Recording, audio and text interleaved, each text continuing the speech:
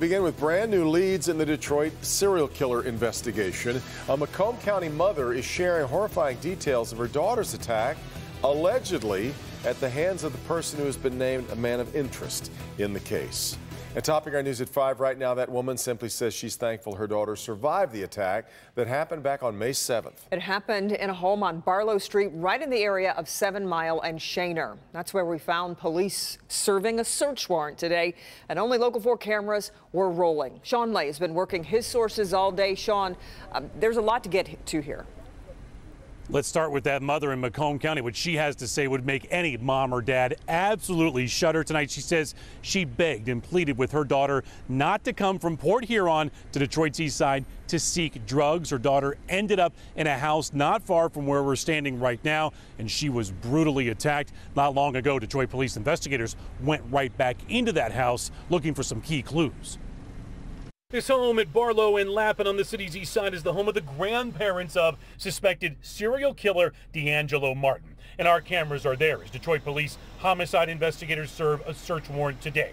This is a big deal. Investigators are looking for items related to a brutal sexual assault of a 26 year old woman here that happened on May 7th.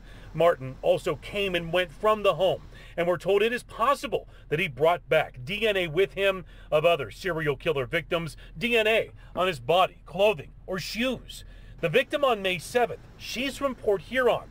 I spoke with her mother today. She says Martin demanded sex from her daughter. She refused, and then he allegedly flew into a rage. And she said, no.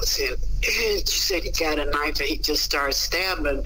You know, he stabbed her. She says her daughter was stabbed in her throat and can't speak as she recovers. Martin's grandmother called 911 as Martin ran off and got away, free to attack again.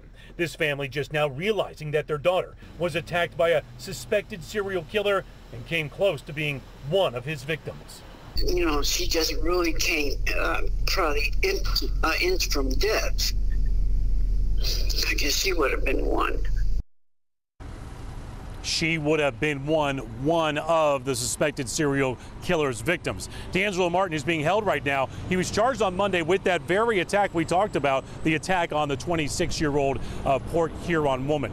Guys, coming up live at 6 o'clock, we know that D'Angelo uh, Martin was coming and going from his grandparents' home, but they are saying, look, he was homeless and out on the streets. There is an outreach person that helped him on the streets countless times.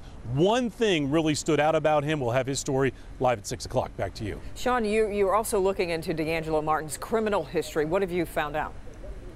Yeah, have you noticed we haven't heard a lot about that? That's because there just isn't much driving uh, violations, and that is about it over the years. Not hardly anything that would be considered anything like what he's being accused of. Yeah, okay. Huge development today, and certainly more to come. Okay, Shawn.